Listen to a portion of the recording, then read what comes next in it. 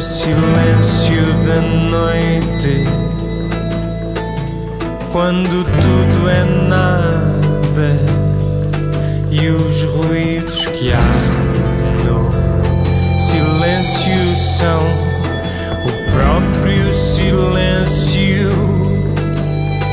Então, sozinho de mim,